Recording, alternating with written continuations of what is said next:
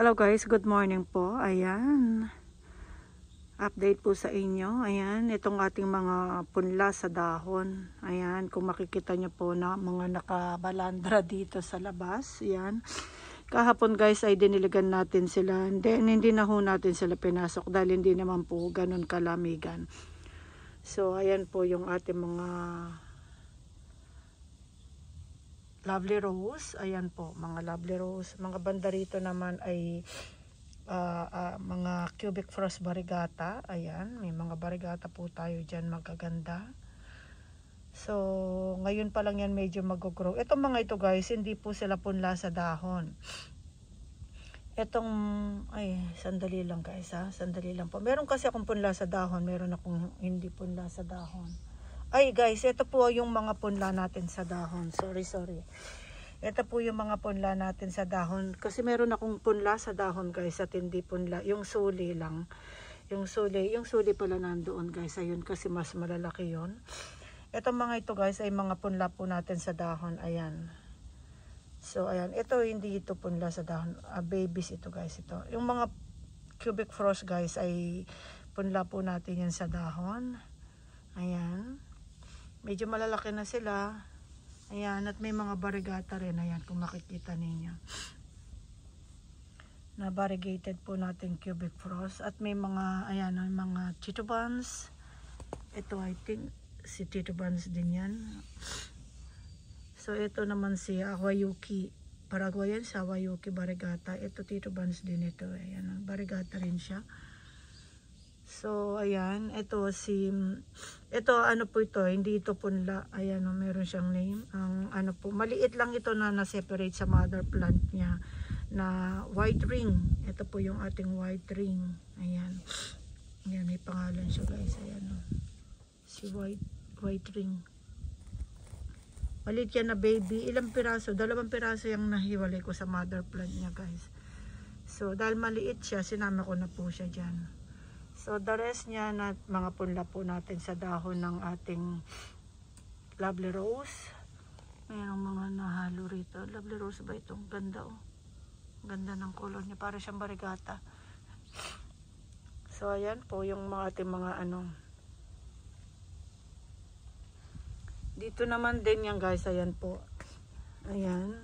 Ito, hindi siya punla sa dahon. Ito po yung ano ko ito, itong avocado cream na alos namatay siya na mga ano nabili natin sa Korea. And then na-save lang po natin yung pinakamaliit niyang rosette. Ayan po. Yan lumaki na yan guys. Lumaki na po siya. Akala ko hindi ko siya masusurvive. Ayan po mukhang lumaki na siya at na mukhang na survive natin siya. So ayan. And then the rest po lahat ito ay mga punlayan sa dahon. Itong itong mga pink na ito uh, hatch pink barigata po natin mga dahon at lumabas po sila na ganyan ganyan guys. Uh, mas ano light yung kanilang pagka pink compare po dun sa talagang uh, hindi barigata. Napaka mild at napakaganda ng ng pagka pink nila. Meron silang parang nag yellowish na dating. So ayan po yung mga hatch pink natin. At ito ay ayan mga um, Daruma Shuray natin. Ito cuttings ito cuttings din ito eh. Cuttings to hindi tayo nagpunla ng dahon. Ito cuttings to guys. Na parang nabulok siya and then maliit lang kasi siya. Sinaksak ko rin dyan. So parang nagkaroon kasi ng bakante dito sa space na ito na may namatay. I think itong hatch pink na isa may namatay and then siya ang itinusok ko So, ayan po. Ito mga Daruma Shuray. Ayan. Mga punla. Ito hindi ko alam. Mukhang barigata ito. Pero lumaba, eh, wala siyang variegated sa leaves. Kasi light ang kanyang color. I think hindi ko alam ito kung Daruma Shuray ay ano, kung Paraguayense or ano. Tingnan na ho natin pag ano. Ayan. May, may mga Echeveria tayong mga mangilan-ngilan. Purple Delight. Ito ay ating pong lavender form paraguayense. Ayan, ang mga echeverias. I think ito si Ratam, guys. Ayan, mga echeverias natin. Ayan. Ayan. So, ayan po yung ating mga punla sa dahon. Ma malalaki na guys, pwede na natin silang i-separate yan. Ilagay sa small pots. Ayan, kasi meron pa tayong isang mga bed na ah, mga maliliit na yan, eksakto sila naman ang ilalagay natin. So kahit dito po ay mga lovely rose din yan guys, ayan po. Etong isang pots na ito, lahat ito ay lovely rose lang. Lahat ito guys ay punla sa dahon. May dalawa tayong namatay dyan, ayan guys, ayan. Ah, ano yan, natunaw, natunaw yung kanyang body. Siguro nadiligan natin ah, sa sobrang dry. Namatay siya. So, ayan po. And then the rest niya ay healthy healthy sila guys. Ayan. So, pwede pwede na po silang i-ano. Ayan. Ilipat na rin. Malalaki na sila guys. Ayan. Makikita niyo ang aking daliri. Ayan. Ayan o. Ang lalaki na nila. Kasi parang kung linipat natin itong mga ito, gan, ah, ganito lang, ganyan lang sila kaliliit guys. And then tignan ninyo, ganyan na po sila kalalaki. Compare dito, ayan. oh. So, ayan na po, mga lovely rose natin yan. Ito naman ang, ah, ito, ah, hindi naman po, ano ito, si Elsie ito eh. Um, ang dami niyang babies. Yung mother plant, wala tayong makitang lupa na. So, nagsiksikan. Yan po, lahat kinuha natin. Pero ang dami pang babies, guys, na nasa, ano niya, para siyang, ano, namulaklak ng hmm, pagkadami-dami. So, kinuha, sineperate po natin sila yan, yung anim.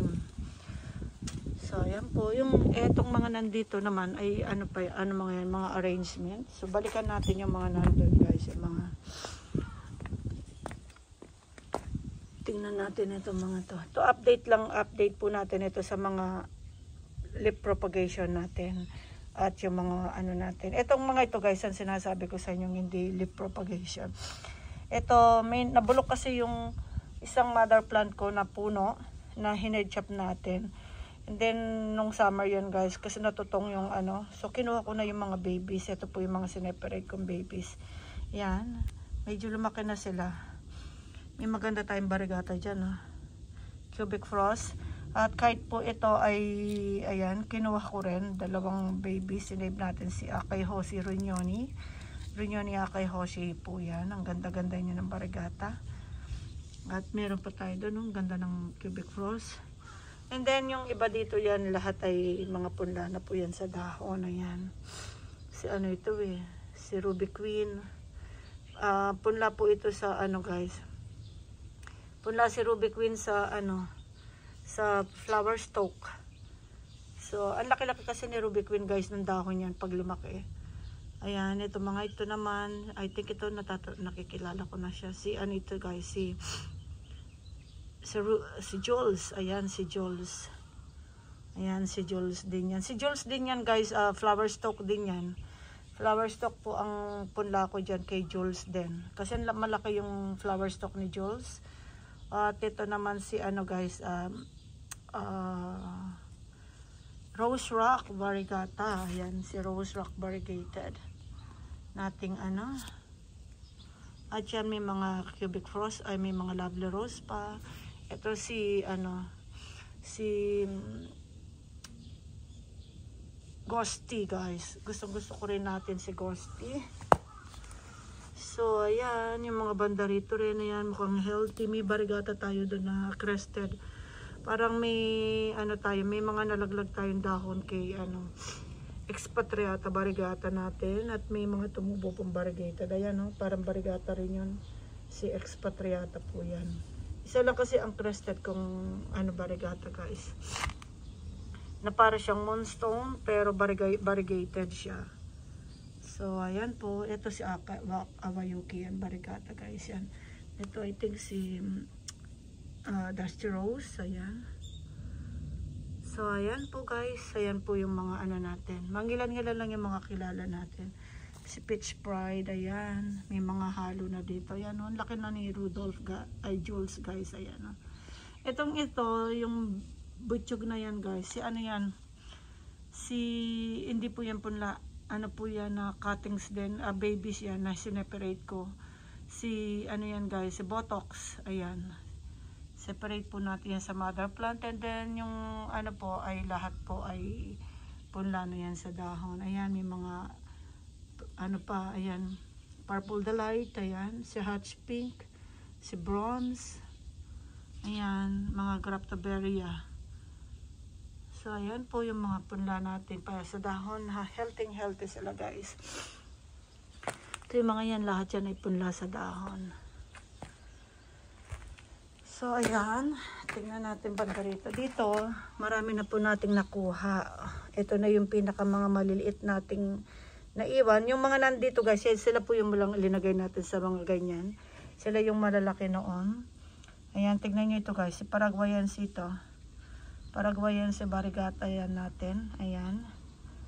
Paraguayansi Akay Hoshi. Ah, um, Paraguayansi uh, yan. Awayuki ka. Awayuki yan guys. Ang ating pong awayuki. Yan. Ang awayuki natin guys, pag pinunla natin, yung mga punla ko lahat, lumabas lahat, lahat sila barigata. Ayan. At marami pong crested ilan ilan ang crested kung na ano guys na punla at meron pa tayong mga magaganda rito ayan oh.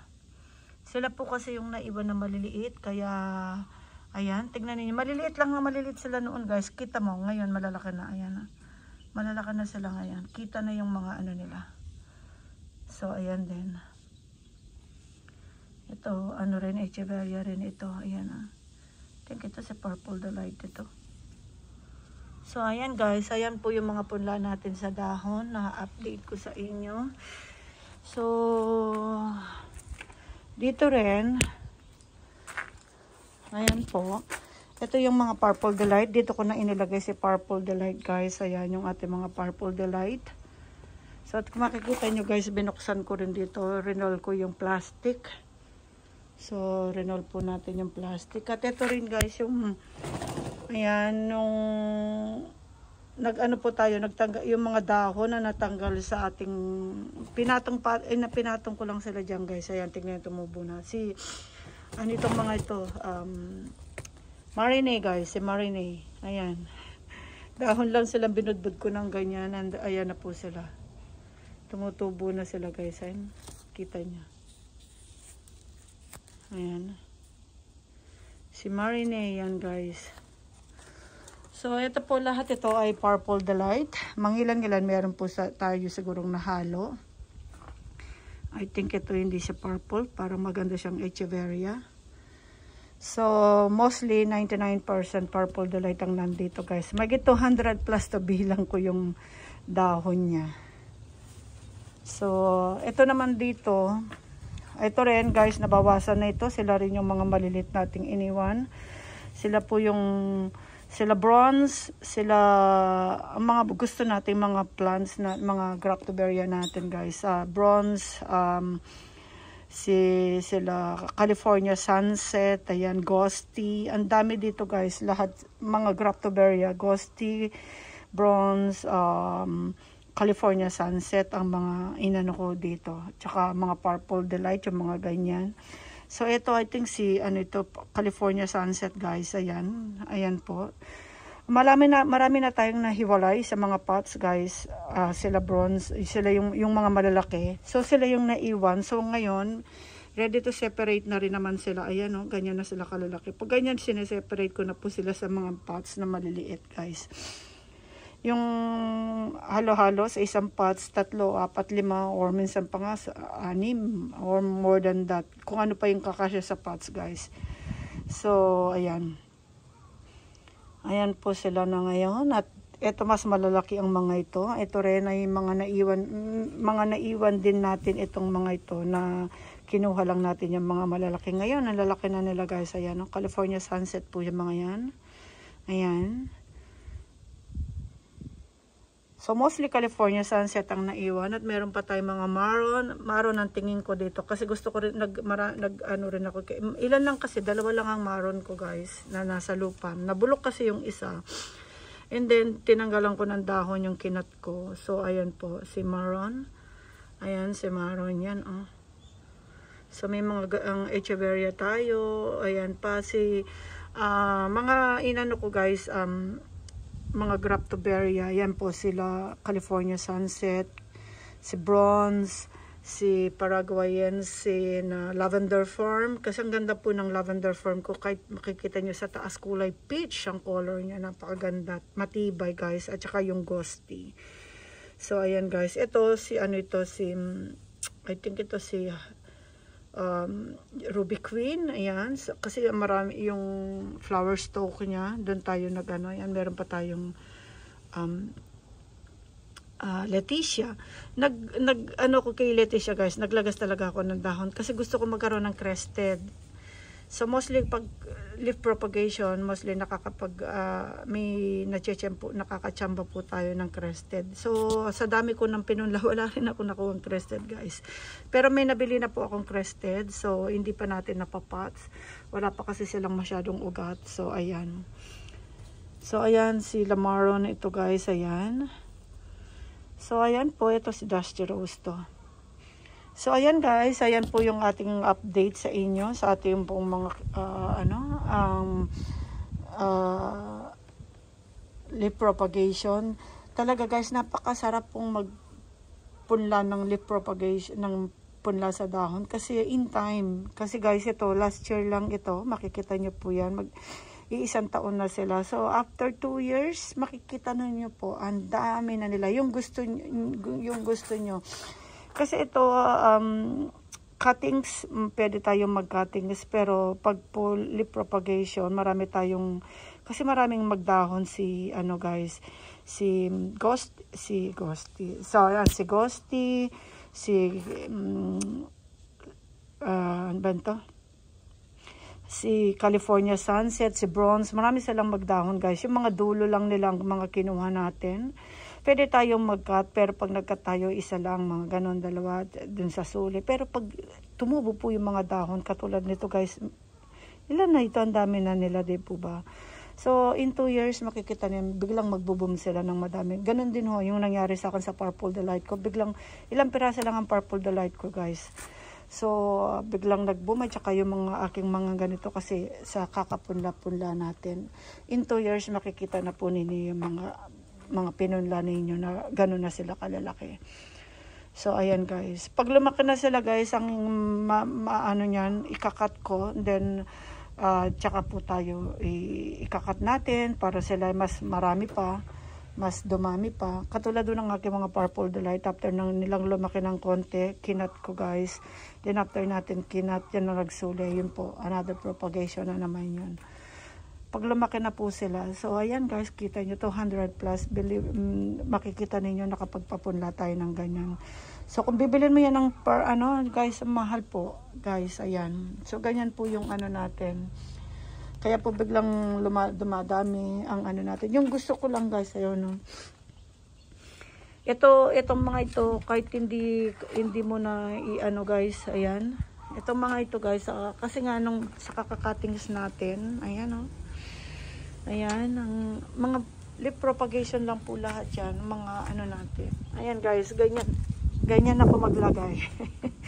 kapag lumaki na sila ng konti yan, linalagay ko sa nito. Ito lahat ito guys ay ano, um, ano po natin yan guys. Uh, sino ba ito? Si Pakibaria Pakitoides natin barigata. Pakibaria Pakitoides din nating barigata guys. Lahat halos lumalabas pang barigata. Ayan, kamukha po ng ano natin, ng parang awayuki. Pag pinunla natin sa dahon, mga ano po, barigatang lumalabas. Tignan niyo ito guys. Gustong gusto ko ito. Ang bilis din yan tumubo. Golden yellow po ang ano niya. Tapos ang pinakadulo niya parang nagpipink. Ayan guys. Tapos makintab yung color niya. Tignan niyo. Makintab yung kanyang dahon niya guys. Ayan. So gustong gusto ko po siya. So gusto kong magpa-grow sa kanya ng mas matured. So ayan po. Parang ganito guys. Ito medyo nag-matured na siya kinat ko. Ayan. After niya mag-matured, kinat ko siya guys. Ayan, tignan niya. So ngayon itong mga ito, pag ganyan, linalagay, pag ganyan yan, um, kukuha na ako ng mas malaking pots si pagsasama-sama ko na sila guys. Ayan po. Kahit ito mga dahon, punla natin ito sa dahon guys. Ayan. Ayan, mga ano, lavender, um, lavender pebbles pantawag dito guys. Ayan, napagaling din ng tumubo ng lavender pebbles. Ayan. At ito, uh, ghosty. I think si Ghosty ito. Dami rin nating napunlang Ghosty guys. Ayan. Dami na po nating napunlang Ghosty. So biglang nag-boom din yung ating mga Ghosty. At saka yung mga, ayan, yung rose pink. Gusto gusto ko si rose pink para siyang purple delight din. Magkaiba lang sila ng shape ng ano. Ah, pink po siya talaga at matibay din siya sa winter at ano. Pagdating ng summer guys, nagpipink po siya. Yan, ganyan ang ano niya. Si, ang nakita ko siya, nakita kong pangalan niya Rose Pink. Pero para siyang Paraguayense rin. Pero kakaiba, may pagkakaiba siya sa, sa Paraguayense. Tignan niyo po yung ating ano guys. Ayan. Pakiberia pakitoides. Ayan. Mga barigata rin tumutubo. Ayun, meron pa dun sa ano. Mga pula po lahat itong mga nandito sa dahon guys. Ayan, itong mga yan. Ayan. Pinagsasama-sama natin sila. Ayan. So, pag naglakihan na yan, ito po yung ano, ito rin ang ito po yung ano punlari natin sa dahon. Ayan, ang pink rose. Ayan, napagaling din yan tumubo, guys. Ayan. So, ito mga ano ito, ah, bronze at saka may halo na siyang ayan oh. May halo siyang um ah ang tawag doon, ah California sunset, ayan po mga punla natin yan sa dahon. So napakagandang magpunla sa dahon guys, napakasaya, napakasaya lalo na pag ganyan. Lahat po yan ay punla natin sa dahon. So talagang kaya pag ako'y nag ano, ah, ini-encourage ko po kayo talaga na magpunla kayo sa dahon. Yung mga gusto ninyo. May meron naman po mga madadaling mga tumubo, pero yung pag mga gusto nyo kung ano lang yung, yung ano, ako yung yan yung mga gusto ko yan yung mga nakita kong madaling tumubo yan ang ating lovely rose ayan. Ayan at yung pinaka tignan nyo guys ayan.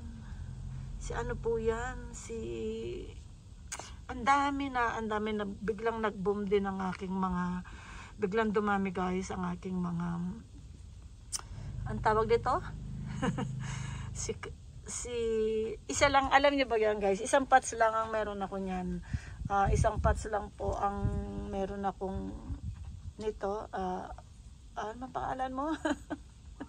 Ay, parang, hindi.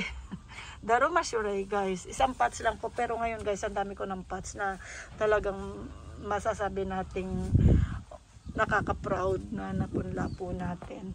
So, ayan, guys.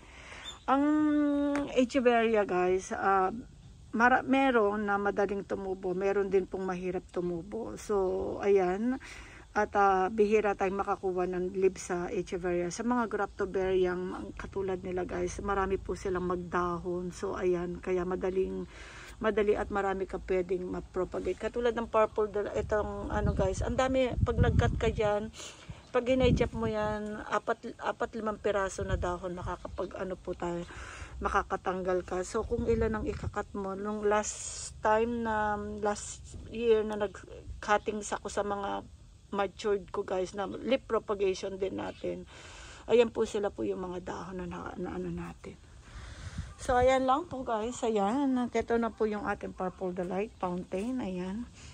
Alam nyo ba guys, biglang dumami, di ba? Mga dahon na linagyan ko ng... Ang dami ko kasi dahon na hindi pa natin nalalagay sa bed. Linagay ko lang po sila. Ayan guys. Kasi di po ba kinat ko yan yung mga ano yan. Ayan, kinat ko. Yung mga pinagkakat natin na yan na po nagsusuli na. Kaya kitang kita na yung lupa. So sabi ko, lagyan ko kaya ng mga dahon ng tumutubo. Ayan guys. Dito wala akong linagay. Ayan. Itong mga ito linagasan ko lang guys. Kasi nung matas ang moisture namin, talagang nagbubulukan. Kasi mga cuttings ito eh, nagbubulukan sila. So para ma matuyo kagad yung pag nabasa sila. Kaya linagyan ko po ito ng bubong. Kasi nga po, ayun. Dati walang bubong kasi ito.